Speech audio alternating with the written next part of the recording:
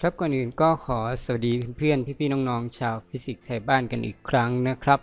ในวันนี้นะฮะก็อยู่ใน EP ที่ 5 ของเรื่องไฟฟ้าสถิตนะครับ ในส่วน part ของที่เป็นแบบฝึกหัดนะครับ โดยแบบฝึกหัดที่ต่อเนื่องจาก EP ที่แล้วเนาะก็เป็นเรื่องของสนามไฟฟ้ารอบจุดประจุนะครับ ในคลิปนี้ก็จะเป็นเรื่องของสนามไฟฟ้าอีกเช่นเคยนะฮะแต่ว่าเป็นจุดที่สนามไฟฟ้ารับนั้นมีค่าเป็นศูนย์เนาะ ในคลิปที่แล้วเราหาสนามไฟฟ้าลับที่จุดประจุต่างๆนะครับกระทำต่อกัน ในคลิปนี้เราจะมาดูว่า สนามไฟฟ้าลับมีค่าเป็นศูนย์นะมันหายังไงเนาะแล้วจุดที่สนามไฟฟ้าลับเนี่ยมีค่าเป็นศูนย์เนี่ยเขาจะเรียกว่าอะไรนะครับโอเคเนาะหัวข้อหัวข้อของเราวันนี้ก็คือ จุดที่จุดที่สนามไฟฟ้า ไฟฟ้ารับนะครับ หรือว่า E รับนะฮะ มีค่าเป็นศูนย์นะครับ มีค่าเป็นศูนย์จุดนี้เขาจะเรียกว่าจุดสะเทินนะครับจุดนี้ จุดนี้จะเรียกว่า จุดสะเทินนะครับจุดสะเทินก็คือจุดที่สนามไฟฟ้ารับมีค่าเป็นศูนย์นะครับ อาจจะเกิดจากจุดประจุ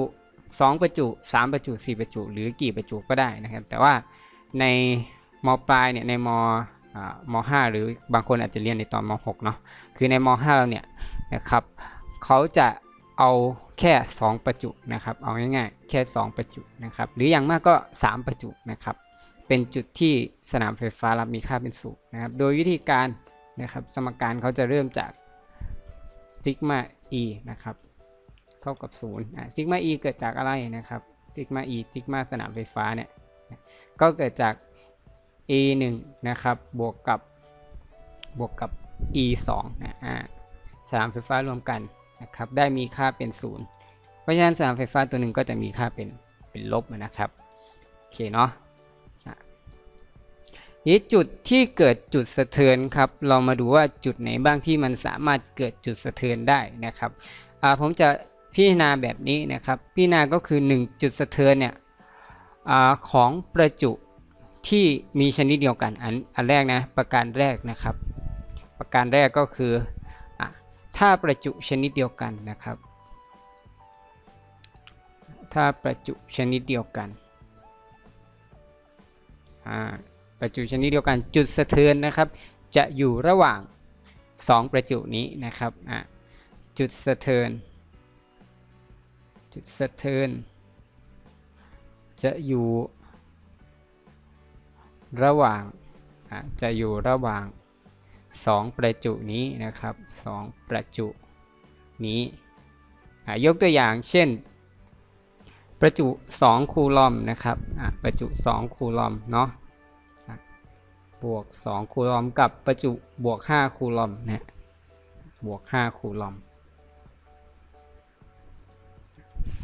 จุดสะเทือนนะครับ จะอยู่ใกล้กับประจุที่มีขนาดเป็นยังไงครับจะอยู่ใกล้กับประจุที่มีขนาดเล็กกว่า โดยจะอยู่ระหว่างนะครับ จะอยู่ระหว่างก็คือบริเวณตั้งแต่ตรงนี้นะครับ ก็จะอยู่ใกล้กับประจุที่มีขนาดเล็กกว่าเนาะตรงนี้เขาจะเรียกว่าจุดสะเทือนนะครับ จุดสะเทือนอันนี้ก็คือในในข้อสังเกตข้อแรกนะครับ เราอาจจะกำหนดตรงนี้เป็น Q1 ก็ได้นะครับ Q1 อ่าตรงนี้เป็น Q2 เนาะถ้าเรากำหนดตรงนี้เป็น Q1 นะครับเพราะฉะนั้นระยะจากประจุถึงจุดสะเทือนเนี่ยตรงเนี้ยเราจะให้เป็น R1 โอเคเนาะส่วนระยะตรงนี้เป็น Q2 เนาะโทษทีระยะจากจุดสะเทือนถึงประจุตรงนี้เราก็จะให้เป็นเป็น R2 นะครับทำไมเราถึงต้องหาตัวนี้เพราะว่าอะไรครับเพราะว่าจากสมการนี้ไง จากสมการตรงนี้เนี่ยนะครับถ้า e ตัวนี้เป็น0นะครับเราก็ย้ายสมการมานะครับก็จะได้เป็น e e 1นะครับ e 1เท่ากับ e 2พอได้สมการตัวนี้ e 1เท่ากับ e 2นะครับเราก็แทนค่า e ลงไปก็จะเป็น k q 1ส่วนด้วย r 1ยกกำลัง2นะครับเท่ากับ k q 2ส่วนด้วย r 2ยกกำลัง2เข้าไปนะครับ ค่า k ก็ตัดกันได้นะเพราะฉะนั้นสมการที่เราจะนำมาคำนวณนะครับ ก็จะเป็นการหาค่า q หาค่า r นะครับ หรือว่าหาระยะห่างของจุดสะเทือนกับประจุนั่นเองเนาะ ก็จะได้สมการเป็น q 1ส่วน r 1ยกกำลัง2นะครับ เท่ากับ q 2ส่วนด้วย r 2ยกกำลัง2อันนี้เป็นแค่เป็นแค่กรณีแรกนะครับ อันนี้คือกรณีที่ประจุชนิดเดียวกันนะครับ ขนาดต่างกันนะ ขนาดต่างกันประจุชนิดเดียวกัน มันก็จุดสะเทือนก็จะอยู่ใกล้กับประจุที่มีขนาดเล็กกว่านะครับอะประการแรกผ่านไปทีนี้ประการที่2อะผมขอเคลียร์ตรงนี้เลยนะครับ ทีนี้ถ้าถ้าเป็นประจุต่างชนิดกันล่ะ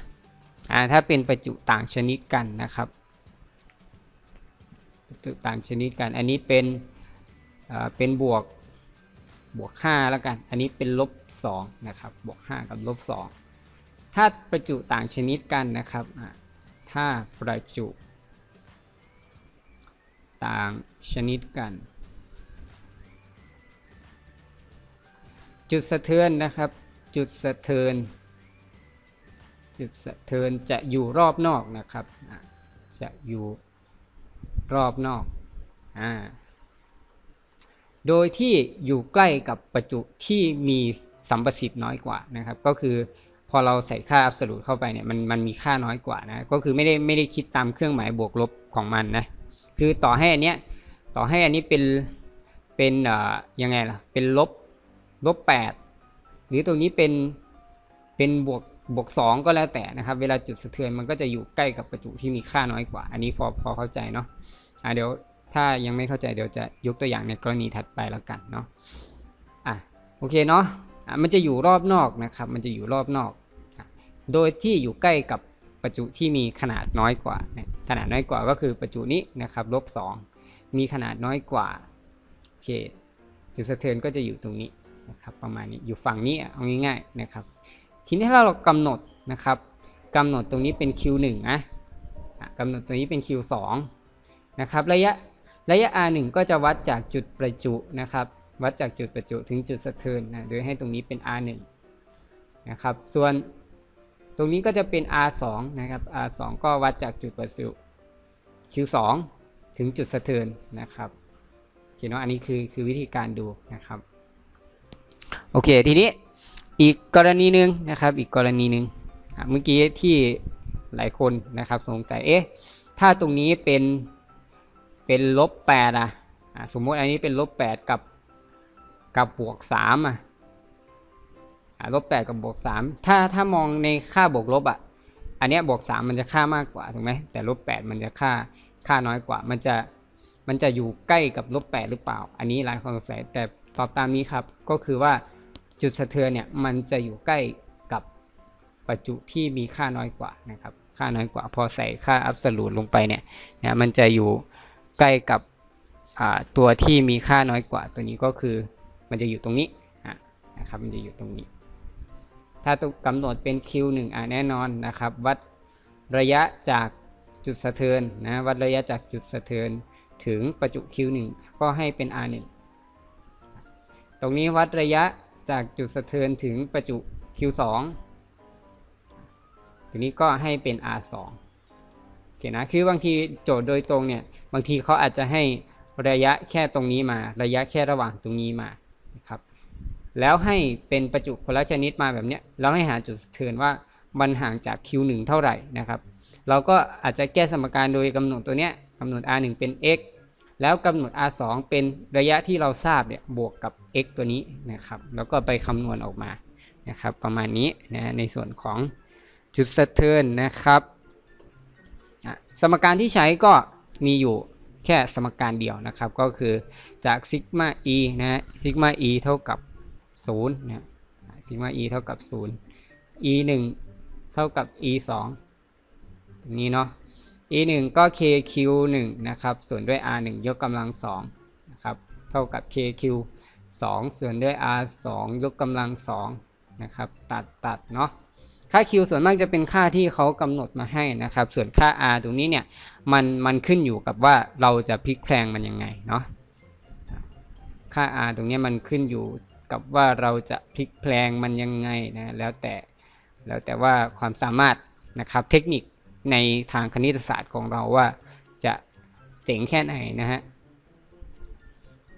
ประมาณนี้นะครับ โอเค ทีนี้เราไปดู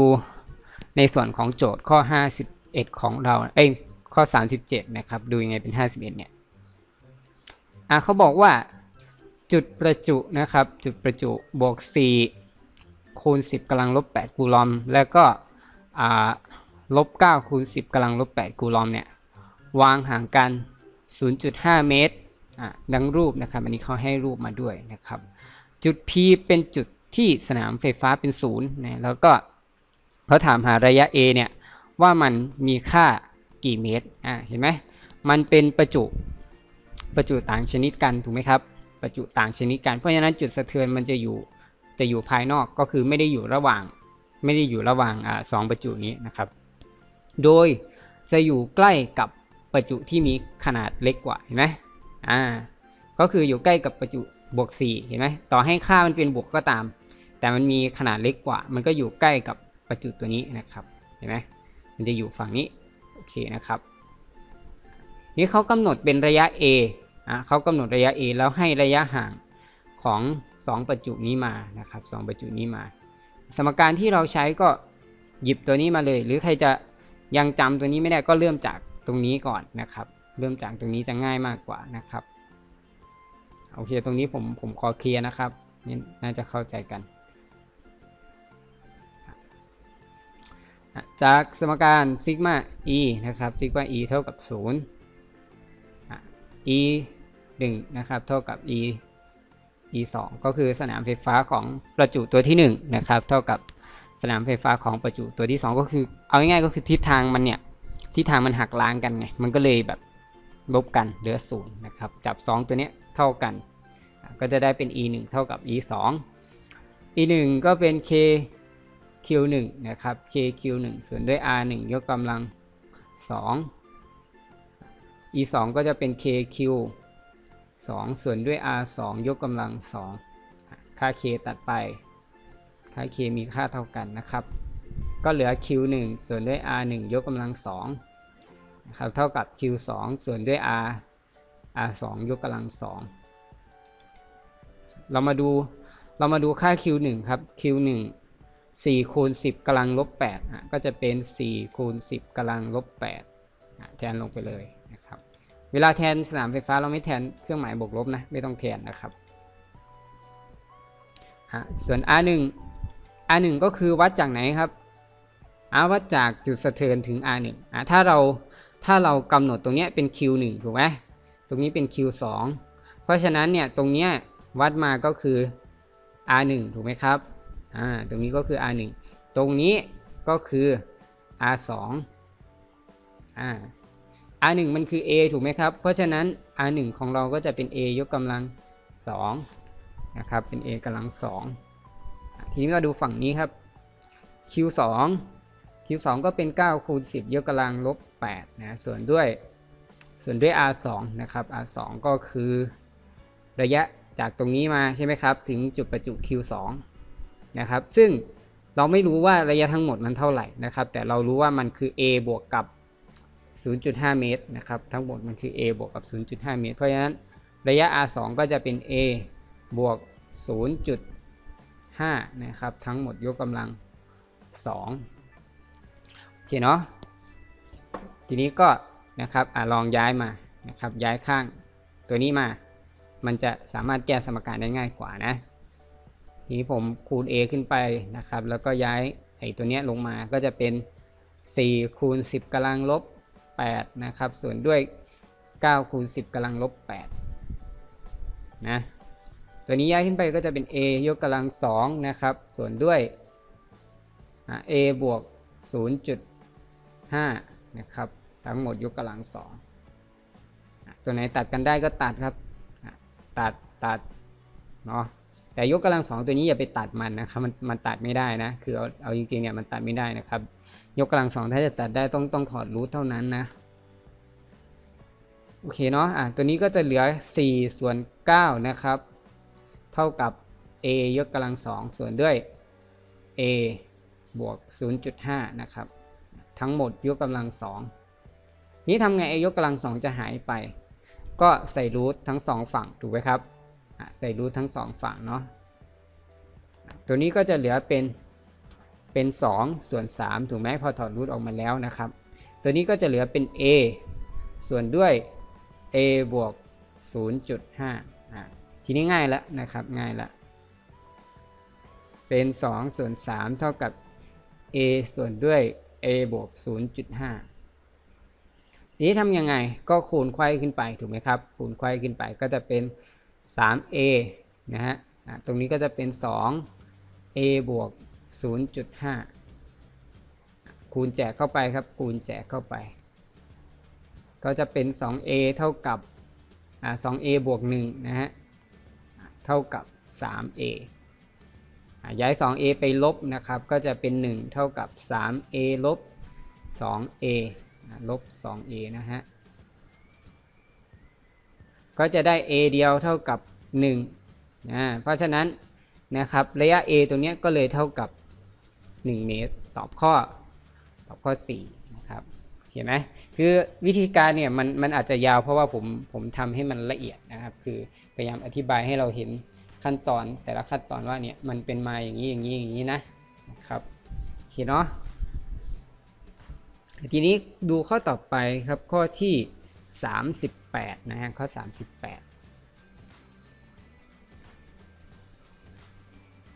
เขาบอกว่าจุดประจุ 2 จุดเนี่ย อยู่ห่างกัน 0.5 เมตรนะครับ จุดประจุหนึ่งมีค่าบวก4คูณ10กำลังลบ8คูลอมนะครับ หากสนามไฟฟ้าเป็นศูนย์อยู่ระหว่างจุดประจุทั้งสองนะครับ และห่างจากจุดประจุบวก4คูณ10กำลังลบ8คูลอมเท่ากับ 0.2 เมตร จงหาค่าประจุอีกประจุหนึ่งเขาบอกว่ามันเป็นประจุ เขาบอกว่ามันเป็นยังไงอะสนามไฟฟ้าเป็นศูนย์อยู่ระหว่างจุดประจุทั้งสองอันนี้เขาบอกอะไรมาครับอะถ้าสนามไฟฟ้าอยู่ระหว่างจุดประจุทั้งสองแสดงว่า แสดงว่ามันเป็นประจุชนิดเดียวกันถูกไหมครับอะเป็นประจุชนิดเดียวกัน เป็นประจุชนิด เดียวกัน ทีนี้ทั้งสองเนี่ยมันอยู่ห่างกัน 0.5 เมตรใช่ไหม แต่เขาบอกว่าระยะที่มันห่างจากประจุบวก 4 เนี่ย มันคือ 0.2 เมตร แสดงว่ามันอยู่ใกล้กับประจุบวก 4 มากกว่าอีกประจุหนึ่งใช่ไหม แสดงว่าอีกประจุหนึ่งเนี่ยต้องมีขนาดใหญ่กว่าแน่ๆนะครับ ใหญ่กว่า เราดูว่าอันไหนอะที่มันมีขนาดใหญ่กว่า ก็มีแค่ข้อ 3 กับข้อ 4 ถูกไหม เพราะฉะนั้นตัด choice ข้อ 1 กับข้อ 2 ออกไปเลย อันนี้คือวิธีอีกวิธีการหนึ่งนะครับ แต่สุดท้ายแล้วมันมันก็ต้องเหลืออีก2 choice อยู่ดีนะครับ โดยโดยสัญชาตญาณแล้วเนี่ยถ้าคนทำโจทย์มาเยอะนะครับเนี่ยผมจะตอบข้อ 3 เลย เพราะว่าถ้าสมมุติว่ามันเป็น 30 อันเนี้ยมันก็ดูมันก็ดูเวอร์ไปนะครับ มันก็ดูเวอร์ไปนะโอเคนะครับ ทีนี้เรามาดูในส่วนของวิธีทำเนาะก่อนอื่นเดี๋ยวผมจะวาดรูปก่อนเลยเนาะอันแรกประจุ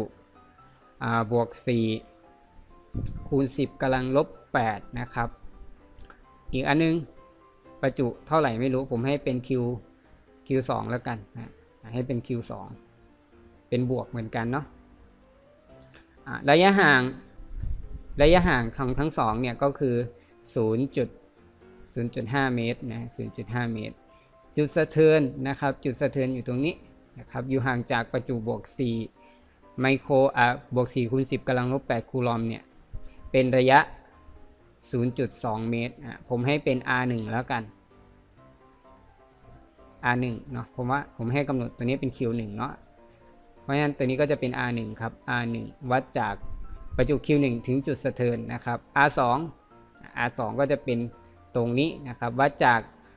ประจุ Q2 ถึงจุดสะเทือนให้เป็น R R2 โอเคเนาะ ทีนี้เราก็หยิบสมการนี้มาเลยครับ A 1 เท่ากับ e 2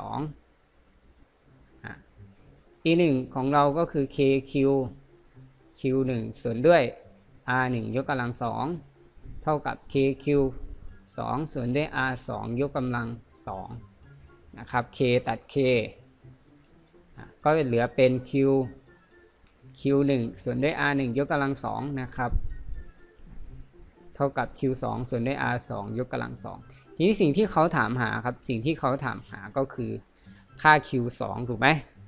เขาถามหา q 2 เราก็ย้าย r 2 ขึ้นมาคูณนะครับ ก็จะเป็น q 2 เท่ากับ r 2 ยกกำลัง 2 คูณกับ q 1 นะส่วนด้วย r 1 ยกกำลัง 2 r 1 เรารู้แล้วนะครับ r 2 เรารู้ไหม รู้นะครับอะถ้า r 1 0.2 จากทั้งหมด 0.5 เพราะฉะนั้น r 2 ก็จะเป็น 0. 0.3 นะครับ ตรงนี้ 0.2 ตรงนี้ 0.3 รวมกันก็ได้ 0.5 เป็นระยะห่างของทั้งสองพอดีไงโอเคเนาะ ตรงนี้ไม่งงนะครับ ได้ r 2 มาแล้วก็คือ 0.3 ยกกำลัง2เนาะ คูณกับ q 1 ก็คือ 4 คูณ 10กำลังลบ8นะครับ ส่วนด้วย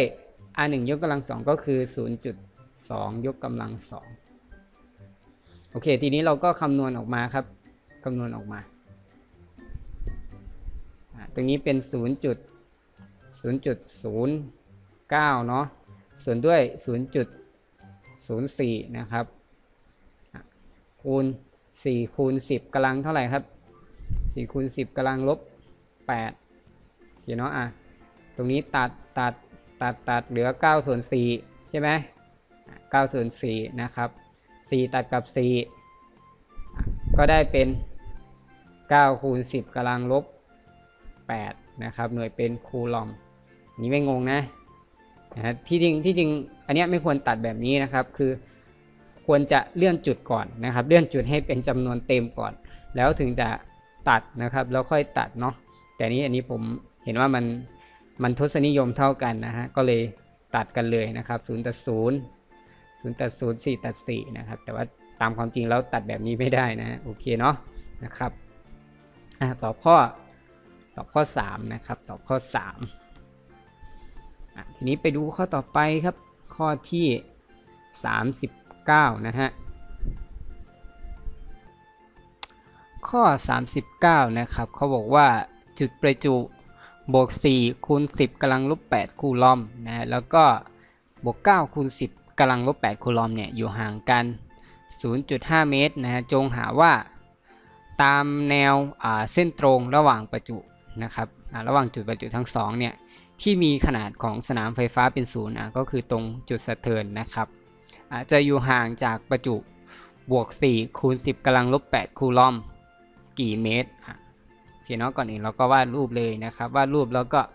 กำหนดนะกำหนดจะให้ตัวไหนเป็น Q1 Q2 ก็แล้วแต่นะครับ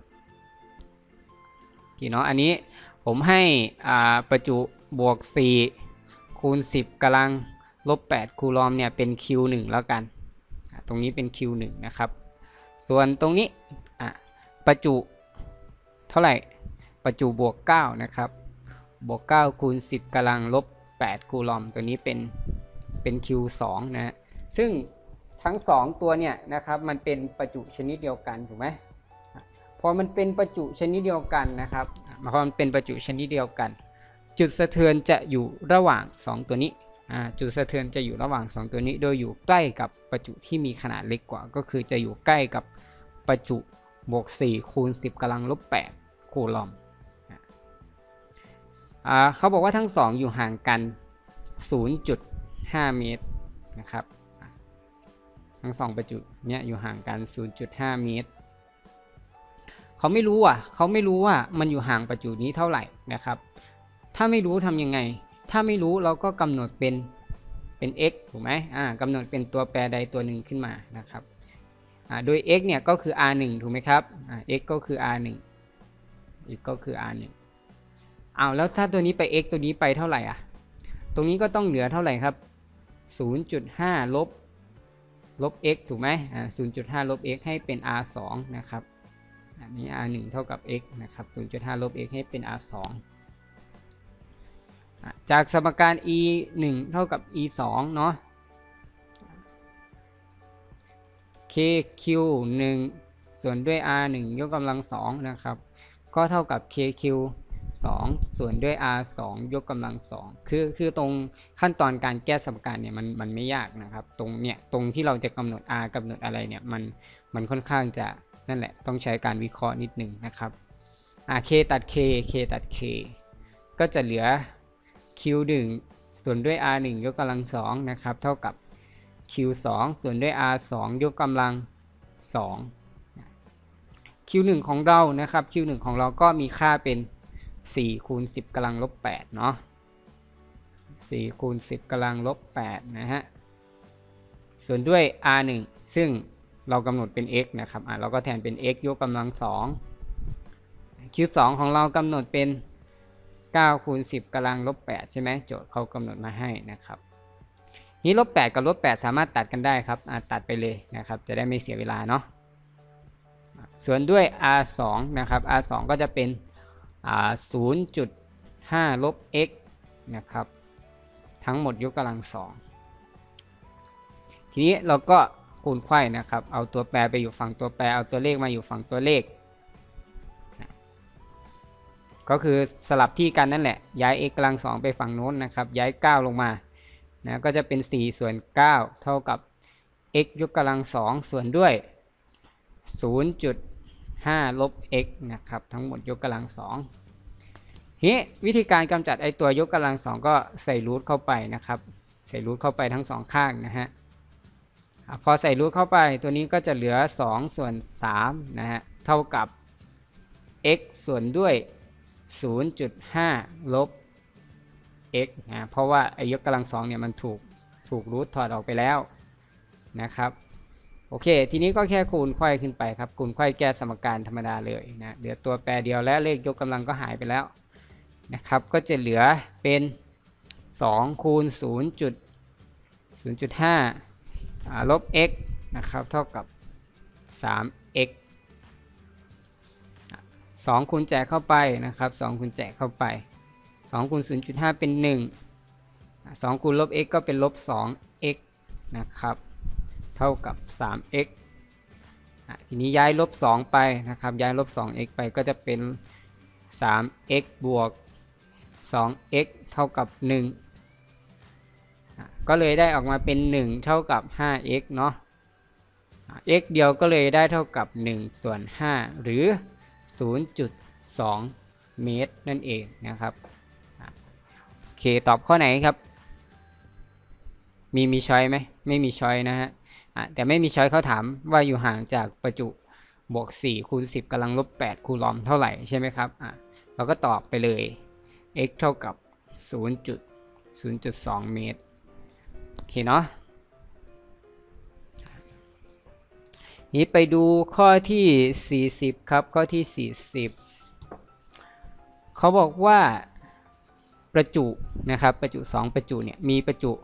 ลบ16 แล้วก็บวก 4 ไมโครคูลอมนะวางอยู่ในตำแหน่งซึ่งห่างกัน 3 เมตรนะครับก็คือ r เนี่ยมันห่างกัน 3 เมตรระยะห่างของประจุทั้ง 2 นะครับ จงหาว่าตำแหน่งที่ออยู่ในแนวระหว่างประจุทั้งสองเนี่ยก็คือในในแนวระหว่างประจุทั้งสองในแนวเส้นตรงนะครับ จะเกิดสนามไฟฟ้าเป็นศูนย์ห่างจากประจุบอก4 ไมโครคูลอมกี่เมตรนะก่อนอื่นเราก็มาวิเคราะห์โจทย์กันนะครับ มันเป็นประจุคนละชนิดกันถูกไหมครับ เป็นประจุคนละชนิดกันเพราะฉะนั้นประจุจะอยู่รอบนอกอาจุดสะเทือนจะอยู่รอบนอกท่าทีจุดสะเทือนจะอยู่รอบนอก แล้วก็อยู่ใกล้กับประจุที่มีขนาดเล็กกว่านะ เพราะฉะนั้นมันจะอยู่ใกล้กับประจุที่มีขนาดเป็นบวก 4 ไมโครคูลอมเราก็วาดรูปเลยครับ อันนี้ลบ 16 ไมโครคูลอมเนาะอันนี้ให้เป็นเราให้เป็น Q1 ก็ได้ หรือจะให้เป็น Q2 ก็ได้อะ Q2 นะครับอะส่วนตรงนี้เป็น Q1 Q1 ขนาดเป็น 4 นะครับ บวก 4 ไมโครคูลอม เพราะฉะนั้นจุดสะเทือนมันจะอยู่ตรงไหนครับ จุดสะเทือนมันจะอยู่ตรงนี้ครับ อ่า มันจะอยู่ใกล้กับประจุอันนี้มากกว่า อันนี้ Q1 เนาะปึ๊บอ่ามันจะอยู่ใกล้กับประจุตัวนี้มากกว่านะครับ เขาบอกว่าทั้งสองเนี่ยห่างกัน ห่างกันเท่ากับ 3 เมตรถูกไหมห่างกัน 3 เมตรก็คือจาก 2 ประจุนี้นะครับวัดกันเนี่ยห่างกัน 3 เมตร แต่ตรงนั้นเนี่ยยังไม่ใช่ r ที่เราต้องการครับ เพราะว่า r ที่เราต้องการเนี่ยถ้าเรากำหนดตรงนี้เป็น q1 ถูกไหม r1 ของเราก็จะเป็นระยะตัวนี้ครับเรากำหนดเป็นตัวแปรตัวใดตัวหนึ่งขึ้นมานะครับ อะเรากำหนดเป็น x ขึ้นมาเนาะอะถ้าสมมุติตัวนี้เป็น x เพราะฉะนั้น r1 ที่เราต้องการนะครับ ก็คือวัดจากจุดสะเทือนถึง q1 นะครับ r1 ก็จะเท่ากับ x ถูกไหม r1 ก็จะเท่ากับ x นะครับ r1 ก็คือระยะตรงนี้นะฮะ x เท่ากับ r1 ทีนี้ r2 อะ r2 ก็วัดจากจุดสะเทือนถึงประจุ q2 ใช่ไหมครับ อ่า r2 ก็วัดจากจุดสะเทือนถึงจุดถึงจุดอ่า q2 นะครับ เพราะฉะนั้น r2 ก็จะได้เป็นระยะเท่ากับ 3 บวก 3 บวก x ถูกไหมอันนี้คือระยะของ r2 นะครับอะนี่สมการจากสมการเนาะอะผมจะเขียนเป็น q1 ส่วนด้วย r1 ยกกำลัง 2 เลยเนาะ จะได้ไวนะครับ r q1 ส่วนด้วย r1 ยกกำลัง 2 เท่ากับ q2 ส่วนด้วย r2 ยกกำลัง2นะครับ q1 เรารู้แล้วนะครับ q1 ก็คือ 4 ไมโครคูลอมเนาะเวลาเราเรานำมาคำนวณเราไม่ต้องแทนเครื่องหมายนะครับ q1 เรารู้แล้วก็คือ 4 นะครับ 4 ไมโครคูลอมเราไม่เอาไมโครมาได้ไหม เพราะว่ามันจะมันจะตัดกันได้นะครับ มันจะตัดกัน 2 ฝั่งได้ เนาะผมเอามาแค่ 4 แล้วกันเนาะเอามาแค่ 4 นะครับ ส่วนด้วย r1 นะครับ r1 ก็คือคือ x นะอันนี้อันนี้คือคือสอนให้เราคิดคิดเลขเร็วไปด้วยนะครับ คิดเลขเร็วไปด้วยคิดลัดไปด้วยนะครับอะตรงนี้ก็จะเป็น x ยกกำลังสองนะครับ เพราะว่ามัน r1 มันเท่ากับ x ไง ส่วน q2 q2 ก็คือ 16 นะครับคูลอมไม่ต้องเอามาเนาะอ่าไมโครไม่ต้องเอามา 16 ส่วนด้วย r2 ก็คือ 3 บวก x นะครับ ทั้งหมดยกกำลัง2อะทีนี้ก็คูณตัวนี้ขึ้นไปนะครับ แล้วก็ย้าย 16 ลงมาก็จะเป็น 4 ส่วน 16 เท่ากับ x ยกกำลัง 2 ส่วนด้วยอ่า3บวก x นะครับ ทั้งหมดยกกำลัง 2ทำไงกำลัง 2 มันจะหายไปนะครับ ก็ใส่รูททั้งสองข้างนะครับ ใส่รูททั้งสองข้างเข้าไปปึ๊บปึ๊บตัวนี้ก็จะเป็น2ส่วน4ถูกไหมสอะ2ส่วน4หรือเราจะตัดเป็น1ส่วน2ก็ได้นะครับ2ส่วน4เท่ากับ x อ่าเพราะว่ามันใส่รูทไปแล้วก็เหลือแค่ x นะครับ x ส่วนด้วย 3 บวก x ทีนี้ก็คูณไขว้นะครับ คูณไขว้ขึ้นไป ก็จะเป็น 2 คูณ 3 บวก x นะเท่ากับ 4x คูณแจกเข้าไปครับ คูณแจกเข้าไปก็จะเป็น 6 6r บวกด้วย 2x นะครับ เท่ากับ 4x ย้ายย้าย 2x ไปก็จะเป็น 6 เท่ากับ 4x ลบ 2x นะครับเหลือเป็น 6 เท่ากับ 2x ราะฉะนั้น x จึงเท่ากับ 3 ถูกไหมอะย้าย 2 ไปหาร 6 ได้ x เท่ากับ 3 เมตรนะครับ เพราะฉะนั้นระยะ r 1ก็คือ 3 เมตรเนาะเขาบอกจงหาตำแหน่งระหว่างประจุทั้งสองที่ทำให้สนามไฟฟ้าเป็นศูนย์อยู่ห่างจากประจุบวก 4 ไมโครคูลอมเท่าใดอะก็ตอบว่าอยู่ห่างอยู่ห่างออกไปนะครับอยู่ห่างออกไปไป 4 เมตร ทางฝั่งขวาเราก็ระบุไปก็ได้ทางฝั่งขวาทางฝั่งขวานะครับ ระบุให้ละเอียดไปเลยโอเคเนาะสำหรับข้อ 40 นะครับข้อ 40 ประมาณนี้นะครับไม่ยากไม่ยาก หลักการก็หลักการเดียวกันนะครับ หลักการเดียวกันเลย ทีนี้ไปดูข้อ 41 นะครับข้อ 41 เขาบอกว่า ประจุบวกหนึ่งแล้วก็ ลบ4ไมโครคูลอมอ่าลบ4คูลอมนะครับตัวตี4คูณ10กำลังลบ5คูลอมวางอยู่ห่างกัน 10เซนติเมตรนะครับจงหาว่าอ่าตำแหน่งของจุดสะเทือนเนี่ยจะอยู่ห่างจากประจุบวก1คูณ10กำลังลบ5คูลอมเนี่ยกี่เซนติเมตรอ่าโอเคเนาะตรงนี้เคลียร์นะครับอะก่อนอื่นเราก็วิเคราะห์โจทย์เหมือนเดิมนะครับ มันเป็นประจุต่างชนิดกันใช่ไหม จุดต่างชนิดกันแน่นอน จุดสะเทือนก็ต้องอยู่รอบนอกโดยอยู่ใกล้กับประจุที่มีขนาดเล็กกว่านะฮะหลังจากที่วิเคราะห์โจทย์แล้วเราก็มาวาดรูปกันนะครับ อันนี้ผมให้เป็น Q1 แล้วกัน Q1 เท่ากับ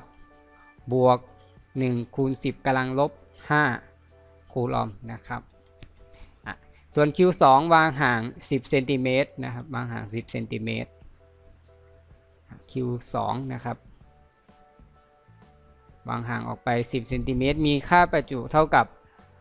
ลบ4คูณ 10กำลังลบ5คูลอมจุดสะเทือนก็จะอยู่ใกล้กับประจุที่มีขนาดเล็กกว่า แล้วก็อยู่ภายนอกนะครับ ถ้ามันเป็นประจุชนิดต่างชนิดกันนะครับเคเนาะจุดสะเทือนจะอยู่บริเวณนี้นี้ถ้าเรากำหนดตรงนี้เป็น Q1 ตรงนี้เป็น Q2 นะครับทีนี้วัดระยะจาก จุดสะเทือนถึงประจุ Q1 ก็จะให้ระยะตรงนี้เป็นเป็น R1 นะครับเป็น R1 ซึ่งเราไม่รู้หรอกมันเท่าไหร่นะครับ เรากำหนดเป็นตัวแปรก็ได้นะครับกำหนดตัวแปรเป็น x ก็ได้เนาะนี่ระยะตรงนี้มันมันคือ 10 เซนถูกไหมอ่าถ้าเราคิดในหน่วยเซนเราก็ต้องคิด r ทั้ง 2 ฝั่งในหน่วยเซนก็ได้นะครับ เขียนว่าตรงนี้ 10 เซนเพราะฉะนั้น ถ้าวัดจากจุดสะเทือนมาถึงจุดประจุ q2 ตรงนี้ก็จะเป็น r2 ใช่ไหมครับซึ่ง r2 มันก็จะเท่ากับ r1 บวก r1 บวก 10 ถูกไหม หรือ x บวก 10 นั่นเองอ่าได้ r2 แล้วนะครับ ได้ r2 แล้ว ทีนี้ก็เอามาแทนในสมการครับ q1 ส่วนด้วย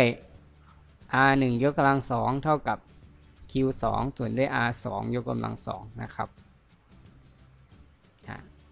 อันนี้ก็มาจากสมการ e 1เท่ากับ e 2นะครับ มาจากตรงนี้แหละ ทีนี้เราแทน q 1เข้าไปครับ q 1อะ q 1 1คูณ10กำลังลบ5นะครับ ส่วนด้วย r 1 r 1ก็เป็น x ยกกำลัง2เนาะอะนี้ q 2 q 2ก็ 4คูณ10กำลังลบ5นะครับไม่ต้องเอาเครื่องหมายมานะส่วนด้วย r 2ก็จะเป็น x บวก 10 นะครับ ทั้งหมดยกกำลัง 2 นี่ลบ 5 กับลบ 5 ก็ตัดกันได้ครับ มีค่าเท่ากันก็ตัดกันได้นะทีนี้ก็ย้าย x กำลัง 2 ขึ้นมาโคนย้าย 4 ลงมาก็จะเป็น1ส่วน4เท่ากับ x กำลัง2นะส่วนด้วย x บวก นะครับ ทั้งหมดยกกำลัง2ทีนี้ก็ถอดรูทครับ ใส่รูทเข้าไป ใส่รูทเข้าไป ก็จะเป็น1ส่วน2เท่ากับ x ส่วนด้วย x บวกกับ 10 เนาะะทีนี้ก็คูณไขว้ขึ้นไปครับ คูณไขว้ขึ้นไป ก็ได้เป็น x บวก 10 นะเท่ากับ 2x ทีนี้ทำยังไง ก็ย้ายไป ย้ายไปลบนะครับ ก็จะเป็น 2x ลบ x เท่ากับ 10 2x ลบ x เท่ากับ 10 ลบกันออกมาก็จะได้ x เท่ากับ 10เซนติเมตรเพราะฉะนั้นระยะจากจุดสะเทือนถึง q1 เนี่ยนะครับเนี่ยก็คือตรงนี้เนาะที่เขาถามหานะครับตำแหน่งของจุดสะเทือนอยู่ห่างจากประจุ q1 นะครับก็ห่างเป็น 10เซนติเมตรใช่ไหมฮะก็ตอบข้อตอบข้อ2เนาะโอเคนะครับ ทีนี้ดูข้อต่อไปครับ ดูข้อต่อไป ต่อมาข้อ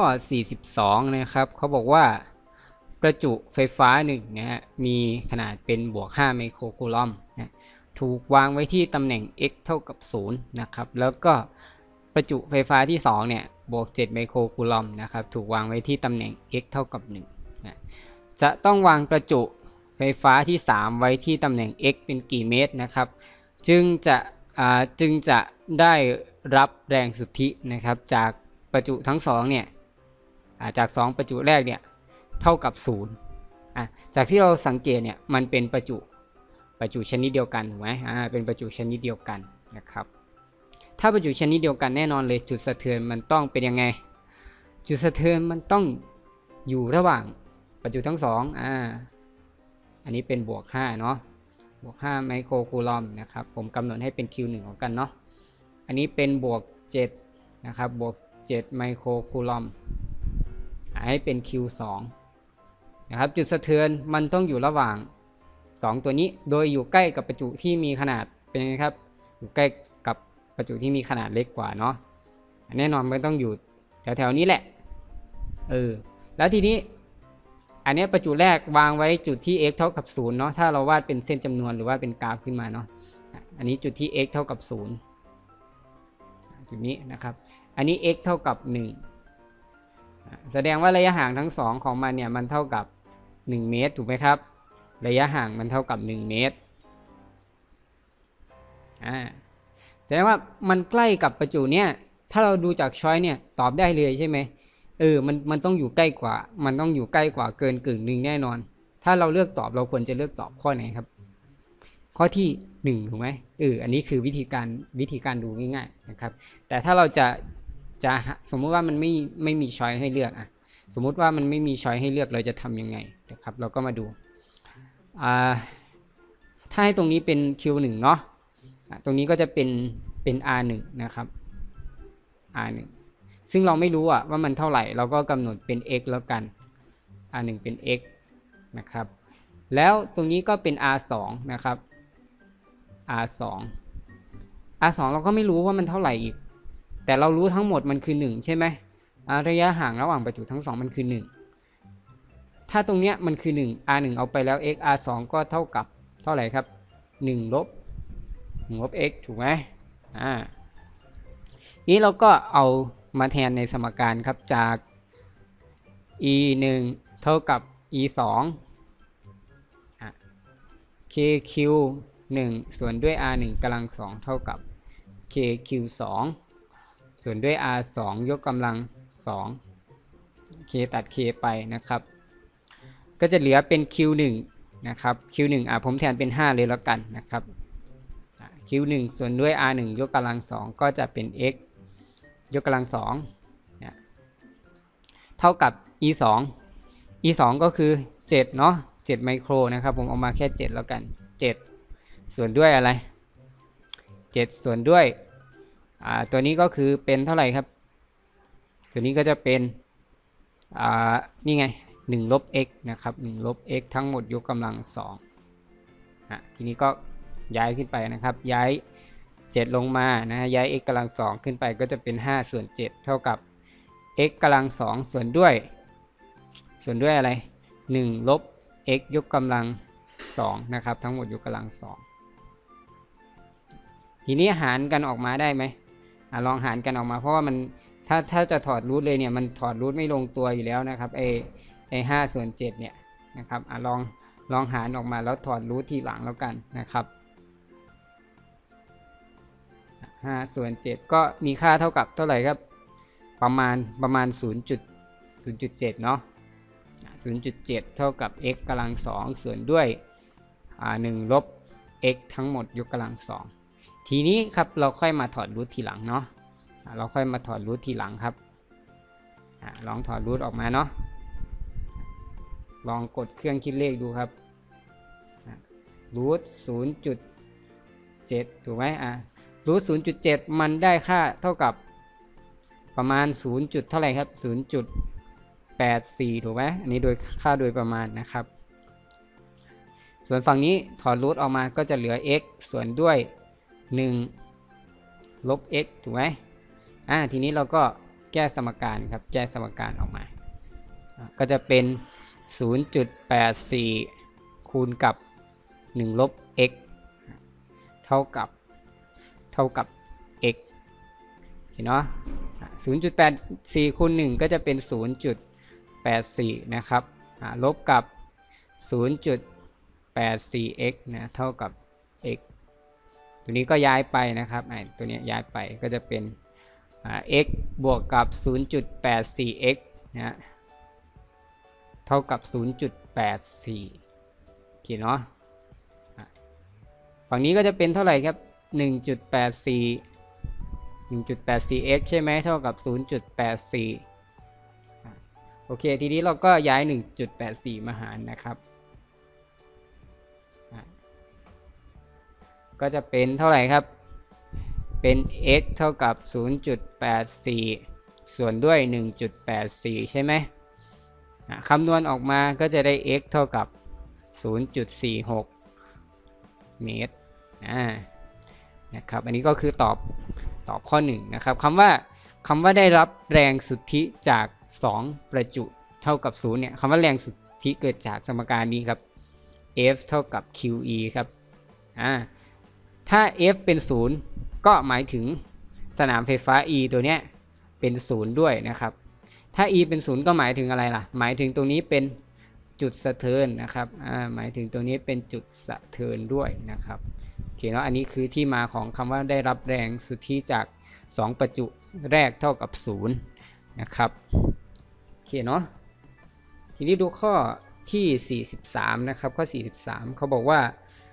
จุด A B C เนี่ยนะเรียงลำดับอยู่ในแนวเส้นตรงเดียวกัน AB นะครับ AB เท่ากับ BC ระยะ AB เท่ากับระยะ BC เท่ากับ x เมตร จุด AB มีประจุบวก QA นะครับแล้วก็ลบ QB ตามลำดับนะพบว่าที่จุด C มีสนามไฟฟ้าเป็นศูนย์นะประจุ QA และ QB มีค่าตามข้อใดต่อไปนี้ตามลำดับอ่าหลายคนเห็นโจทย์แบบนี้แล้วจะแบบยังไงล่ะเขาเรียกว่าไงเขาเรียกว่าค่อนข้างที่จะงงมากๆปวดหัวมากๆ เอ๊ะอะไร A B C อะไรก็ไม่รู้ เออระยะ AB ก็ไม่ได้กำหนดเป็นตัวเลขมานะครับ ประจุก็ไม่ได้กำหนดเป็นตัวเลขมานะครับ มาดูว่าวิธีการเราจะทำยังไงเนาะอะขั้นแรกเราวิเคราะห์โจทย์ก่อนนะครับ มันมีประจุเป็น QA กับ QB ถูกไหม QA กับ QB ประจุต่างชนิดกัน อันนึงเป็นบวก อันนึงเป็นลบใช่ไหมครับ อันนึงประจุบวกกับประจุลบแน่นอน มันจะอยู่เขาเรียกว่าอะไรจุดประจุมันจะอยู่ใกล้กับใกล้กับประจุที่มีค่าน้อย อ่าทีนี้เขาบอกว่าระยะมันเท่ากันอะตรงนี้เป็นจุด A เนาะจุด A นะครับ อันนี้จุด B นะครับ เราอยากรู้ว่าจุด C มันอยู่ตรงไหนอะจุด C มันอยู่ตรงไหนอะแล้วก็อยากรู้ QA QB ด้วยนะครับ โอเคเนาะจุด C เป็นจุดที่มีสนามไฟฟ้าเป็นศูนย์อะ มันต้องอยู่ฝั่งใดฝั่งหนึ่งแน่ๆนะครับ มันต้องอยู่ฝั่งใดฝั่งหนึ่งแน่ๆที่เป็นจุด C นะครับ โอเคเนาะเขาบอกว่าระยะ AB นะครับ เท่ากับระยะ BC เท่ากับระยะ x อันนี้มันอาจจะดูห่างไปเนาะะเดี๋ยวเขียนใหม่แล้วกัน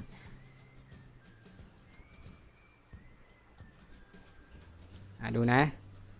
ระยะ AB นะครับ อันนี้ A เนาะ อันนี้ B นะครับ C อาจจะเป็นตรงนี้ หรืออาจจะเป็นตรงนี้ก็ได้ ระยะ AB เป็นเป็น x ระยะ BC ก็เป็นอะไร BC นะแล้ว BC ก็เป็น x เหมือนกันแล้ว BC ก็เป็นเป็น x เหมือนกันนะครับจุด A กับจุด B มีประจุ A กับ B มีประจุเป็นอะไร A เป็นบวก Q อ่า A เป็น Q นะครับบวก Q แล้วก็แล้วก็ B ก็เป็นอะไรครับ เป็นลบ QB ะทีนี้จากโจทย์ที่เขากำหนดมาเนาะระยะ AB ระยะ BC ห่างกันเป็นระยะ x เพราะฉะนั้นตรงไหนที่ตัดได้ครับ AC ตัดไปเลย เพราะว่าอะไร เพราะว่าเขากำหนด AB เป็นระยะ x แล้วก็ BC ก็เป็นระยะ x เพราะฉะนั้นนะครับ จุด C เนี่ย ก็จะอยู่ใกล้กับประจุ B ถูกไหมอ่าจุด C มันจะอยู่ใกล้กับประจุ B ครับ ห่างกันเป็นระยะ x โอเคเนาะอันนี้เขาให้ระยะ x มา ก็หมายถึงว่าเราทราบอะไรครับ เราทราบ r ถูกไหมอ่าเราทราบ r นะครับถ้าตรงนี้เป็นจุดสะเทือนเนาะจุดที่สนามไฟฟ้ามีค่าเป็นศูนย์อันนี้เราให้เป็น q1 แล้วกันเนาะ qb เป็น q1 qa เป็น q2 นะครับจากจุด c ถึงจุด b ตรงนี้ก็ต้องเป็น r r1 ตัวนี้ก็ต้องเป็น เป็น r2 ซึ่ง r2 ถ้าเราดูเนี่ย มันเท่ากับกี่ x ครับ มันเท่ากับ 2x ถูกไหมครับ มันเท่ากับ 2x นะอะเรารู้ r แล้ว รู้ q แล้วนะครับ รู้ r รู้ q ทีนี้เราก็สามารถหาหาเจ้าตัวทั้ง 2 ตัวนี้ได้ว่าออกมามันมีค่าเท่าไหร่นะครับ โดยใช้วิธีการเทียบ r นะครับ เทียบ r 1 กับ r 2นะจากสมการ q 1เนาะ จากสมการ q 1 ส่วน r 1 ยกกำลัง2เท่ากับ q 2 ส่วนด้วย r 2 ยกกำลัง2ตอนนี้เราอยากรู้ q 1 q 2 อะเราย้าย q 1 ส่วนด้วย q 2 มา ก็จะเท่ากับ r 1ยกกำลัง2นะส่วนด้วย r 2ยกกำลัง2อะ q 1ของเรานะครับ q 1ของเราคือ qb ถูกไหมเราก็แทน qb เข้าไปครับ qb เข้าไป q อ่า q 2 ของเราเป็น qa อะเราก็แทน qa เข้าไปนะ r 1 ของเราเป็นเป็น x ถูกไหมอะก็จะเป็น x ยกกำลัง2ครับอะส่วนด้วย r 2 ก็คือ 2x ทั้งหมดยกกำลัง2นะก็จะได้เป็น x กำลัง2ส่วนด้วย 4x ยกกำลัง2นะครับ เท่ากับ qb ส่วนด้วย q qa x กำลัง2ตัดกันก็เหลือเป็น qb ส่วน qa เท่ากับ 1 ส่วน4อ่า qa ส่วน qb เท่ากับ 1 ส่วน 4 เพราะฉะนั้นเราเห็นอะไรครับ qb qb เท่ากับ 4 ใช่ไหมครับ แต่ qa เป็นอะไร q อ่า qb เท่ากับ 1 เท่าที qb เท่ากับ 1 แต่ qa เท่ากับเท่ากับ 4 เห็นไหมฮะ แต่ qb เป็นเป็นลบถูกไหม qb เป็นลบ QB เป็นประจุลบ แต่ QA เป็นประจุบวก เพราะฉะนั้น QB ก็เลยเป็นลบลบ 1 QA เป็นบวก4โอเคไหมฮะ ตอบข้อไหนครับ Q QA บวก4 QB ลบ1ก็ตอบข้อ ตอบข้อ1นะครับเขาถามหา QA นะครับแล้วก็ QB ตามลำดับก็ตอบข้อ1โอเคเนาะอีก 2 ข้อก็จะจบในหัวข้อของจุดสะเทินนะครับ ถึงข้อ 45 นะฮะสำหรับ part นี้โอเคไปดูข้อ 44 ครับ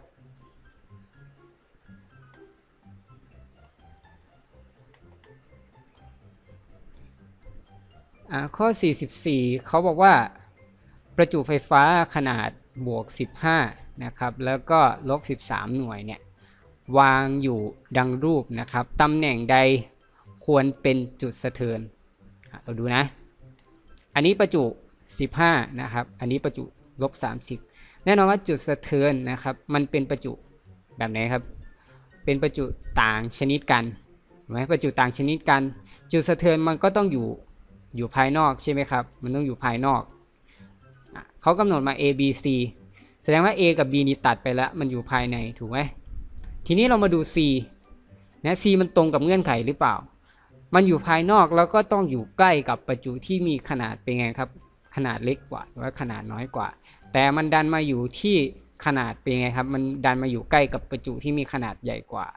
ก็คือลบ30 เลย เพราะฉะนั้นจุด C เป็นไหม ไม่ใช่จุดสะเทือนนะครับ เพราะฉะนั้นข้อนี้ไม่ใช่คำตอบนะครับ ไม่มีคำตอบที่ถูกต้อง เพราะฉะนั้นจุดสะเทือนมันควรจะอยู่ฝั่งนี้มากกว่านะครับออยู่ใกล้กับใกล้กับอ่า15 15 หน่วยหรือ 15 คูลอมตรงนี้นะครับ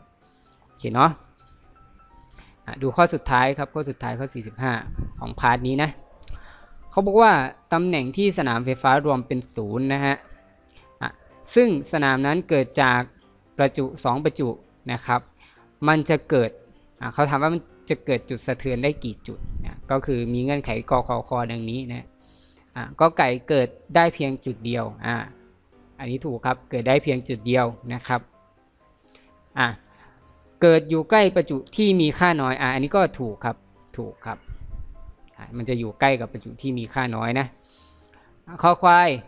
เกิดในแนวเส้นตรงที่ลากผ่านจุดประจุทั้งสองก็แน่นอนครับ มันอยู่ในแนวเส้นตรงที่ลากผ่านจุดประจุทั้งสองคือเนี่ยจากที่คำนวณมาเราไม่ได้คิดแนวอื่นเลยนะ เราคิดแค่แนวเส้นตรงเดียวกันนะครับ เพราะฉะนั้นคำตอบ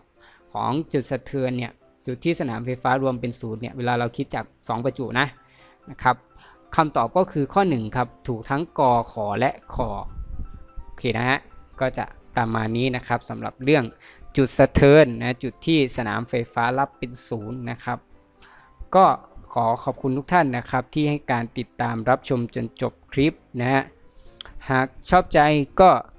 อย่าลืมกดไลค์กดแชร์นะครับ แล้วก็กด Subscribe เนาะเพื่อเป็นกำลังใจให้กับ Channel ฟิสิกส์ไทยบ้านของเราด้วยนะครับ หากผิดพลาดประการใดก็ขออภัยมาณที่นี้ด้วย แล้วเจอกันคลิปหน้านะครับผม บ๊ายบายครับ